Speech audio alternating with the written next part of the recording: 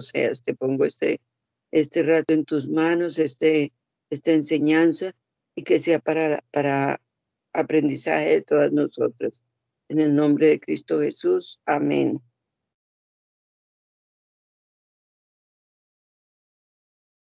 Bueno, entonces, dice, es la enseñanza de hoy es el temor de Dios, el temor del Señor. No es lo mismo tener temor que tener miedo. El miedo es a las cosas del mundo.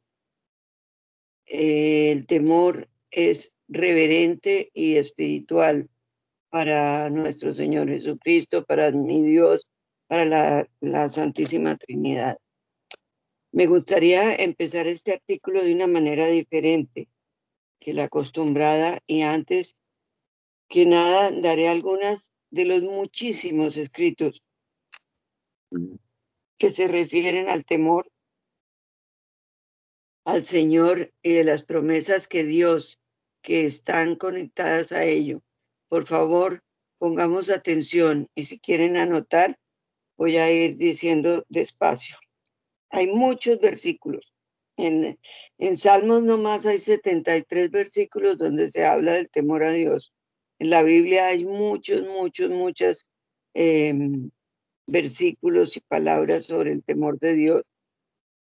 En Salmos 34, 9 dice, temed a Jehová vosotros sus santos, pues nada falta a los que le temen. En el Salmo 34, 37 dice, el ángel de Jehová, de Jehová acampa alrededor de los que le temen y los defiende. Salmo 102, 1 al 2 dice, Bienaventurado el hombre que teme a Jehová y a sus mandamientos, se deleita en gran manera. Su descendencia será poderosa en la tierra. La generación de los rectos será bendita.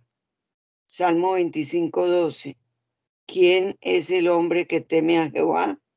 Él le enseñará el camino que ha de escoger.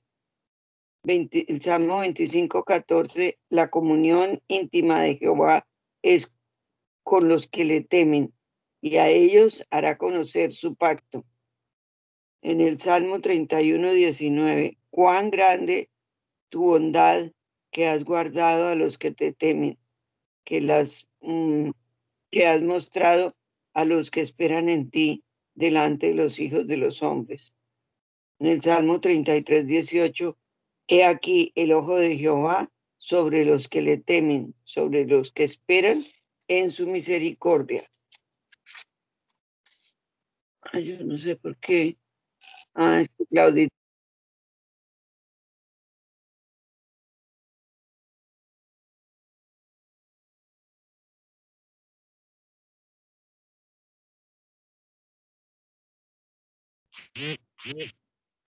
Se te cerró el micrófono, Angelita. Ya. Salmos 85, 9. Ciertamente cercana está su salvación a los que le temen, para que habite la gloria en nuestra tierra. En el Salmo 103, 11, porque como la altura de los cielos sobre la tierra, engrandeció su misericordia sobre los que le temen. Fijémonos que todos los versículos tienen una promesa a los que le temen. En el Salmo 113, 103, 13 dice, como el Padre se complace, de sus hijos, se compadece Jehová de los que le temen. El Salmo 103, 17, más la misericordia de Jehová es desde la eternidad y hasta la eternidad sobre los que le temen y su justicia sobre los hijos de los hijos. Salmo 111, 4, 5. Ha hecho memorables sus maravillas. Ciertamente misericordioso es Jehová. Ha dado aliento a los que le temen. Para siempre se acordará de su pacto. Salmo 115, 13. Bendecirá a los que le temen a Jehová, a pequeños y grandes. Salmo 128, 1, 4. Bienaventurado todo aquel que teme a Jehová, que anda en sus caminos cuando comieres el trabajo de sus manos. Bienaventurado será y te irá bien. Tu mujer será como vid que lleva fruto a los lados de tu casa. Tus hijos como plantas de olivo alrededor de tu mesa. He aquí, así será bendecido el nombre que teme, el hombre que teme a Jehová. Proverbios 14, 27. El temor de Jehová es manantial de vida para apartarse de los lazos de la muerte. En Proverbios 15, 33, el temor de Jehová es enseñanza de sabiduría y a la honra, a la, y la honra procede la humildad.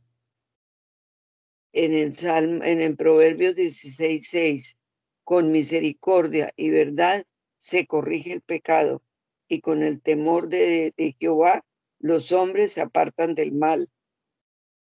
Proverbios 19, 23, el temor de Jehová es para vida, y con él vivirá lleno de reposo el hombre, no será visitado del mal. Proverbios 22, 4. Riquezas, honra y vida son la remuneración de la humildad y del temor de Jehová. Proverbios 23, 17. Antes persevera en el temor de Jehová en todo tiempo en Eclesiastés 8, de 12 y 13 dice, aunque el pecador haga mal cien veces y prolongue sus días, con todo, yo también sé que les irá bien a los que a Dios temen, los que temen ante su presencia y que no le irá bien al impío, ni le serán prolongados los días, que son como sombra, por cuanto no temen delante de la presencia de Dios. Eclesiastes 12:13 dice, el fin de todo el discurso oído es este, teme a Dios y guarda sus mandamientos, porque esto es todo lo del hombre. Me parece que es obvio de todo lo anterior que aquí estamos tratando con el tema muy importante que tiene el temor del Señor, que todos los que tengan son sujetos de tan, tantas eh, promesas como las de que leímos. ¿Qué significa, ¿Qué significa temor al Señor? Significa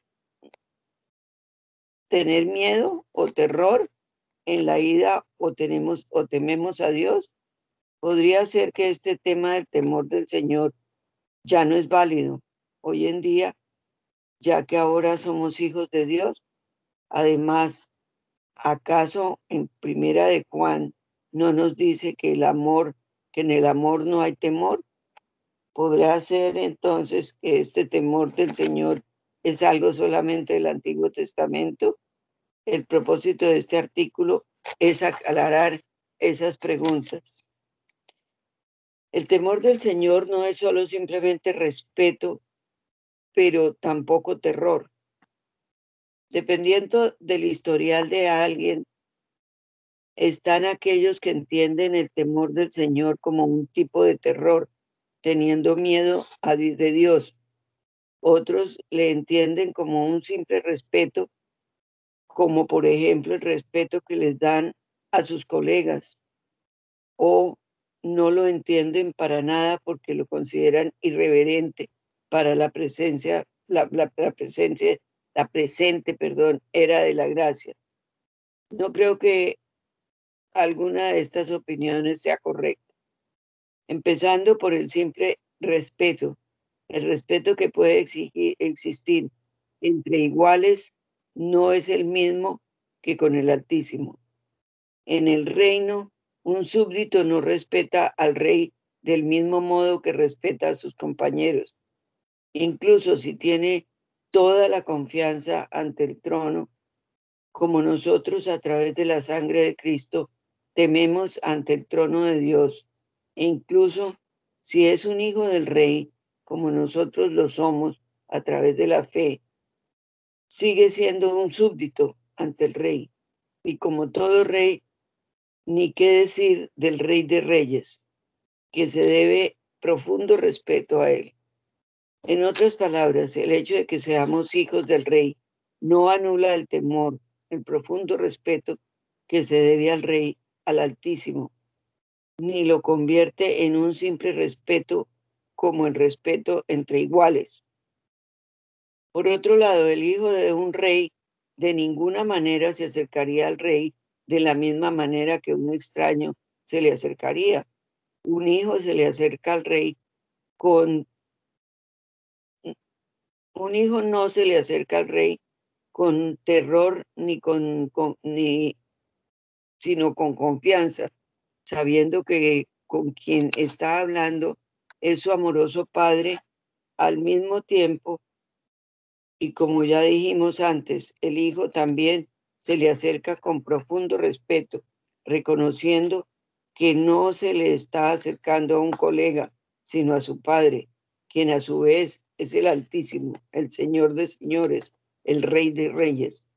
En otras palabras, el hecho de que seamos hijos del Rey también significa que el temor del Señor no se debería de entender como un terror, como tener miedo al Rey, más bien se debería entender como un profundo y el más alto respeto que es debido de los hijos al más amoroso Padre, quien a su vez es el creador de todo, el Altísimo.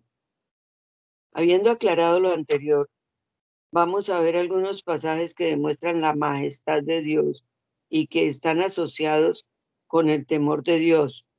Uso estos pasajes como una indicación de la majestad y realeza de Dios y no para decir que los cristianos deberíamos tener miedo, terror de Dios. Como ya dijimos y como veremos más adelante, temer, temer de Dios no significa tener miedo, me parece que en nuestra era, donde Jesucristo tendió un puente entre el espacio vacío que había entre Dios y el hombre, temer de Dios significa acercarse de ambas formas, como Padre, con confianza y sin tenerle miedo, y como al Altísimo, con el más profundo respeto. Volviendo a los pasajes que mencionamos antes en Jeremías 16, Dice, no hay semejante a ti, oh Jehová, grande es tú, eres tú y grande tu nombre en poderío. ¿Quién no temerá al Rey de las Naciones?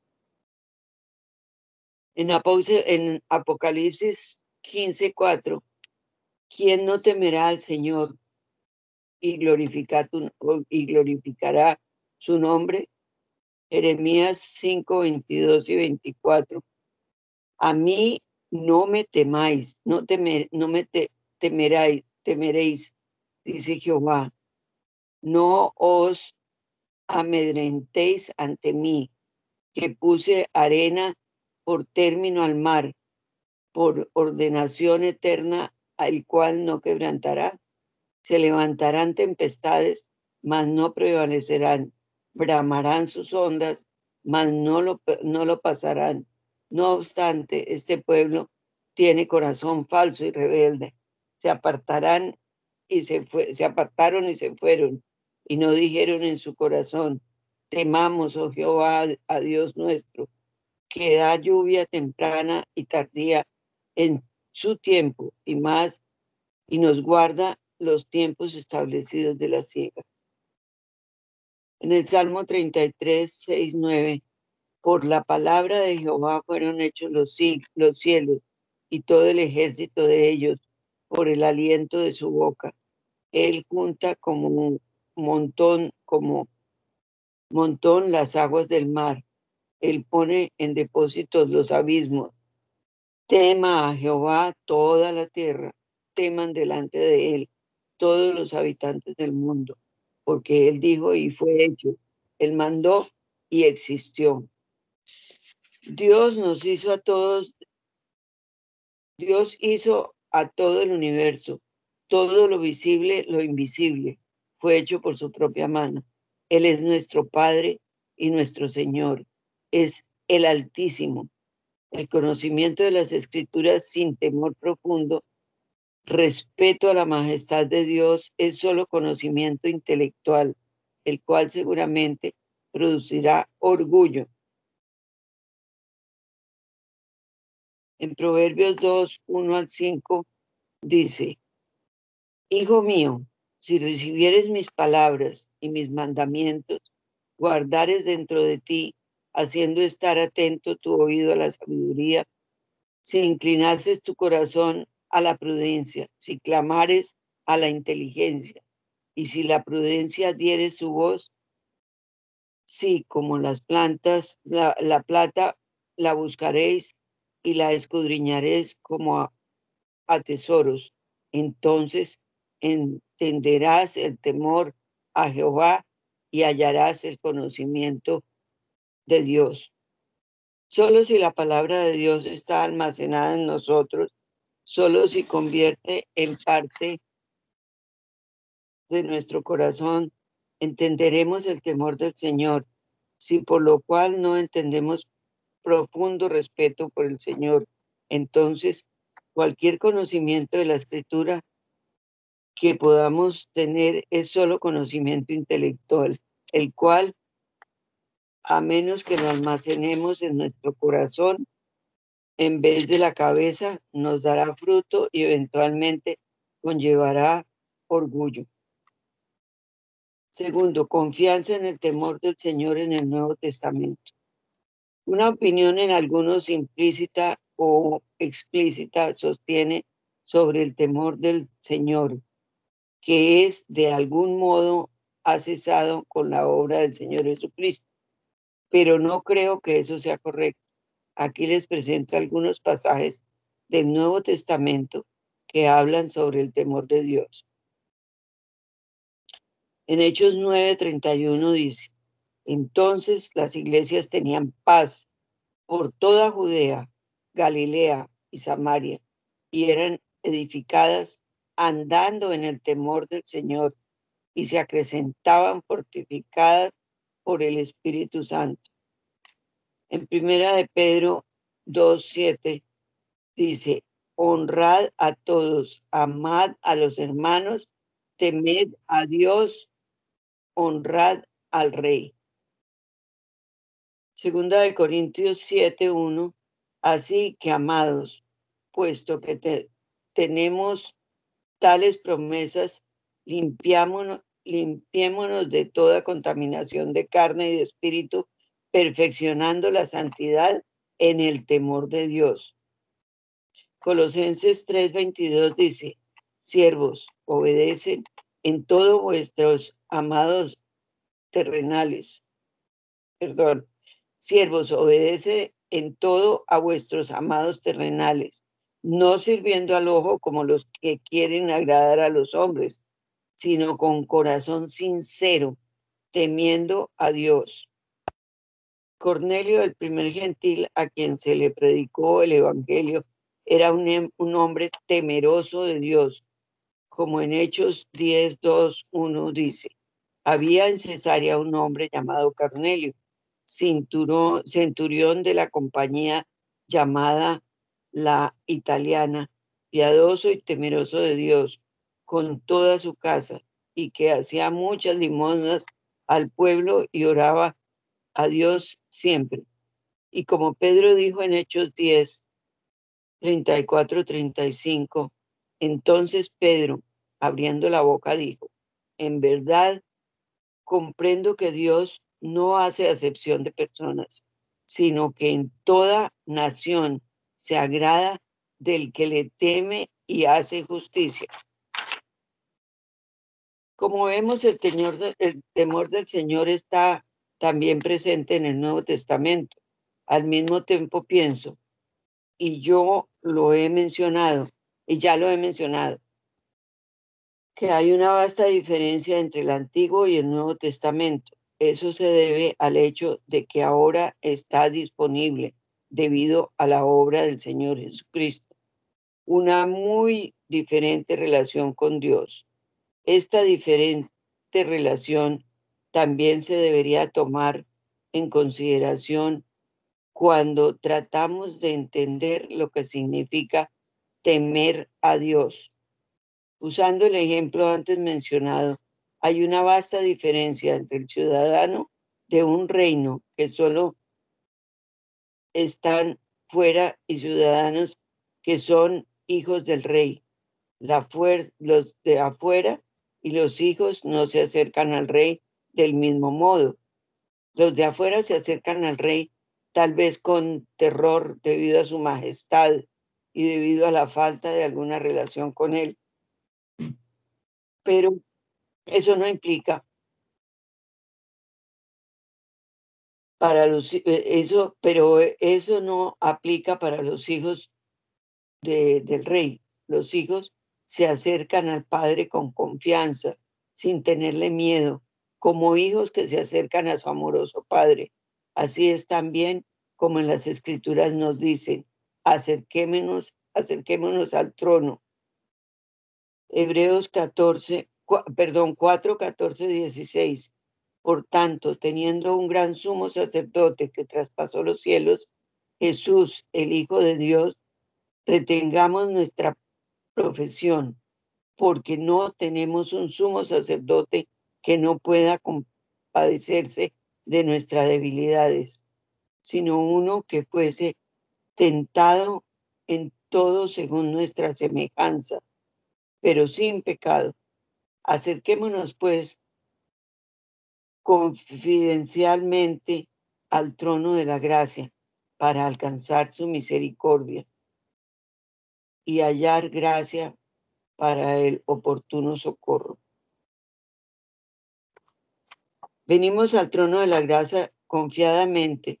Eso no es por nosotros, sino por el Señor Jesucristo, quien puso el puente entre el barranco que había entre nosotros y Dios e hizo posible a aquellos que no creen que él, que él es el Hijo de Dios, que fuera el Hijo de Dios. También en Primera de Juan 4, 17, 19 dice.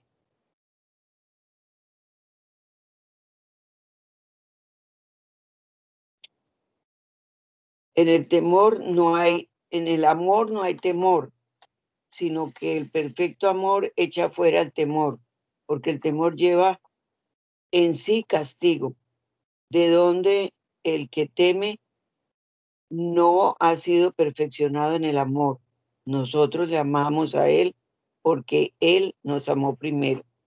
Si amamos a Dios, no tendremos miedo de Él porque el amor y el odio no van juntos al mismo tiempo, repito que esto no significa que es correcto acercarse a Dios del mismo modo que se acerca a los iguales, con tal vez algún simple respeto y sin darse cuenta de la altura de aquel a quien están acercando, a quien se están acercando.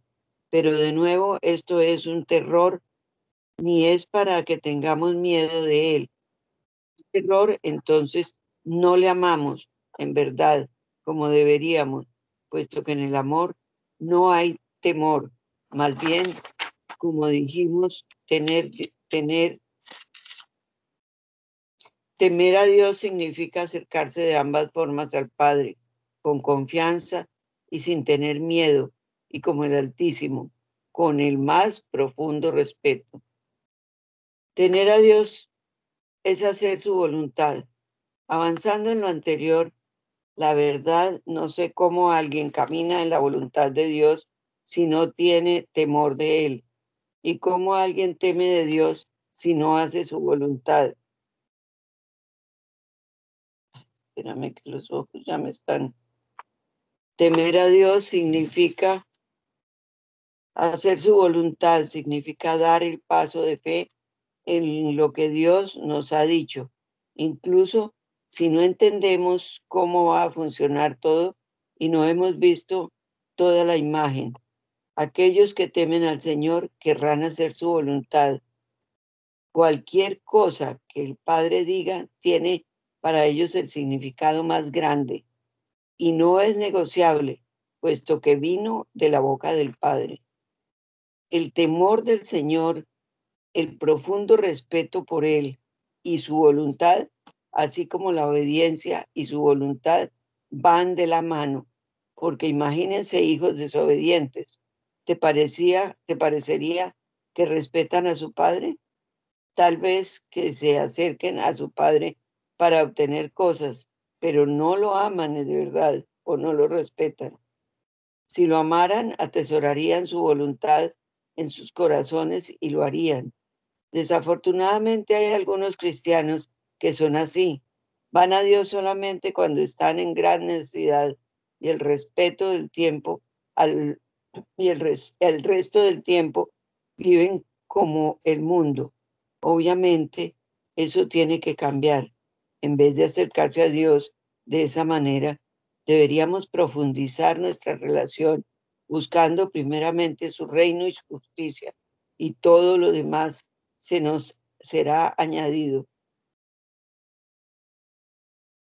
En Filipenses 2, 5, 11 dice, haya pues en vosotros este sentir que hubo también en Cristo Jesús, el cual, siendo en forma de Dios, no estimó el ser igual a Dios como cosa a que aferrarse, sino que se despojó de sí mismo, tomando forma de siervo, hecho semejante a los hombres y estando en condiciones de hombre, se humilló a sí mismo, haciéndose obediente hasta la muerte y muerte de cruz, por lo cual Dios también le exaltó hasta lo sumo y le dio un nombre que es sobre todo nombre, para que en el nombre de Jesús se doble toda rodilla de las que están en los cielos y en la tierra y debajo de la tierra, y toda lengua confiese que Jesucristo es el Señor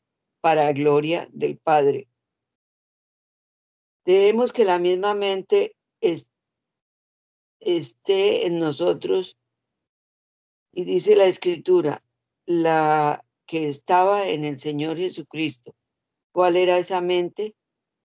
Era la mente de obediencia, incluso hasta la muerte. Era la muerte de no mi voluntad, sino la tuya. Lucas 22, 42. Lo que quiero decir con lo anterior es que no podemos decir que tememos al Señor, sino que hacemos su voluntad de hecho, es lo mismo como el amor al Señor. Como dijo Juan, el que me ama, mi palabra guardará. Mi Padre le amará y vendremos a él y haremos morada en él. El que no me ama, no guarda mis palabras. Y la palabra que habéis oído no es mía, sino del Padre que me envió. No podemos decir que amamos al Señor y no hacemos lo que Él dice. De igual modo, creo que no podemos decir que tememos al Señor si no hacemos lo que debemos, lo que sabemos que es su voluntad. Para concluir esta sesión, el temor del Señor significa también obediencia al Señor, significa atesorar al Señor, al Señor en su voluntad no importa qué, significa en una frase estimar grandemente a Dios y su voluntad. En conclusión, empezamos este artículo demostrando la, la fuente de bendición que es el temor del Señor. Es difícil encontrar otro tema en la escritura que contenga tantas promesas, larga vida, prosperidad, liberación, y muchas otras cosas más que acompañan a aquellos que le temen. Entonces, tratamos de definir el temor del Señor poniendo en claro que no es un simple respeto como el respetar a iguales, sino significa tener, ni significa tener miedo al Señor o terror de él. Más bien, tener del Señor, temer del Señor es tener el profundo respeto que es debido al Padre, al Dios, al Señor y al Creador de todo. Finalmente aclaramos que no hay temor de Dios sin hacer su voluntad. En otras palabras, cualquiera que tema a Dios también hace su voluntad y cualquiera que no le tema, sino que quiera satisfacer su carne, no la hace o lo hace cuando quiere, dependiendo de las circunstancias. Eh, cerrando este artículo, vamos a escuchar cuidadosamente esta instrucción de Eclesiastés, que está en el eh, capítulo 12, 13 y 14. En fin, de todo discurso oído en, es este. Teme a Dios y guarda sus mandamientos, porque esto es el todo del hombre. Esto era lo que les tenía, mis amadas, para esta noche.